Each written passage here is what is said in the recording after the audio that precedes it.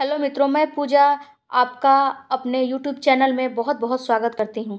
मित्रों, अगर हमारा वीडियो अच्छा लगे तो वीडियो के लास्ट में जाके आप एक बार सब्सक्राइब, लाइक, कमेंट और शेयर ज़रूर करके जाइएगा। अगर आपको अच्छा लगे तो।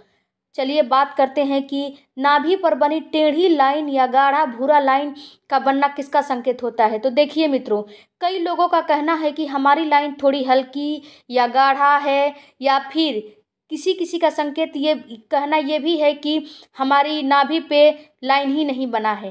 तो ये किसका संकेत है?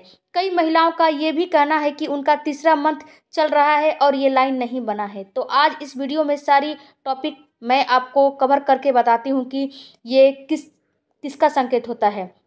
गर्भ अवस्था में हर महिला के साथ कुछ न कुछ अलग अलग होता है और हर महिला की बॉडी अलग अलग होती है और हार्मोन उनके में अलग अलग रिलीज़ होता है। हर महिला को कुछ ना कुछ टेंशन होता है। प्रेगनेंसी में हर महीने कुछ ना कुछ शारीरिक बदलाव भी होते रहते हैं और कुछ हार्मोनल चेंजेस भी होते हैं, जिससे महिला के बॉडी में उतार चढ़ाव आते रहते हैं। उसमें से एक महिला के नाभि के नीचे एक लाइन बनती है, जो कि आपको प्राइवेट पार्ट से लेके नाभि के ऊपर तक बनता है, जिससे हमें ने नेवल लाइन या फिर नाभि लाइन या फिर टेढ़ी लाइन भी कहा जाता है। इस लाइन को बनने का क्या मतलब होता है?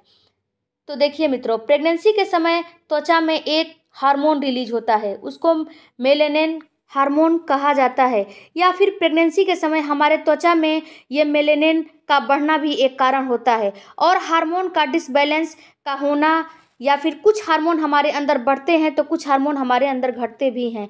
जिसकी वजह से मेलेनिन की मात्रा कम बढ़ती है तो किसी महिला का ये लाइन कम बनता है और किसी किसी में ये मेलेनिन ज़्यादा हो जाता है, जिसकी वजह से ये लाइन डार्क नज़र आते हैं।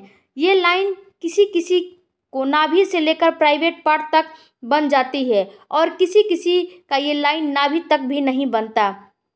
कुछ महिलाओं की ये उलझन होती है कि ये लाइन से जेंडर का क्या कनेक्शन होता है। लेकिन ये मिथ्य है मित्रों, ये गलत बात है। अगर प्राइवेट पार्ट से सीधी या गाढ़ी लाइन जाती है तो मानते हैं कि लड़का होगा। और लाइन ज़रा, यानी कि ज़रा सी भी टेढ़ी, मेढ़ी या फिर हल्की है तो माना जाता है कि लड़की होगी। अगर लाइन किसी को नहीं बन और बहुत हल्की बनती है और थोड़ा बहुत बनता है तो हमारे बड़े बुज़ुर्ग कहते हैं कि इसको लड़की ही होगी।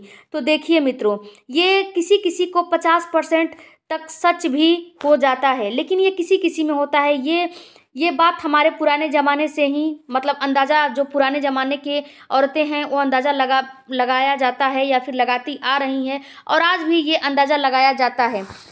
लेकिन ये सौ परसेंट सच नहीं इसको साइंस भी नहीं मानता और ना ही ये साबित हुआ है कि ये बात सच है। टेढ़ी लाइन या फिर लाइन ना बने तो लड़की और सीधी गाढ़ी लाइन बने तो लड़का। ऐसे आप अपने मन को या फिर अपने जिज्ञासा को शांत करने के लिए ही लीजिए इसे, क्योंकि हर महिला की बॉडी का हार्मोन अलग अलग होता है और हर महिला की और हर महिला की प्रेगनेंसी भी अलग अलग होती है। तो इसे आप सौ परसेंट सच ना माने। इसे केवल अपने जिज्ञासा और एंटरटेनमेंट के लिए ही रखें। मित्रों, हमारे चैनल का उद्देश्य लड़का और लड़की में फ़र्क करना या फिर जेंडर का प्रचार करना बिल्कुल भी नहीं है। हमारे जो जिज्ञासा हमें हुआ था, वही आपको शांत करने के लिए हमने ये वीडियो बनाया है।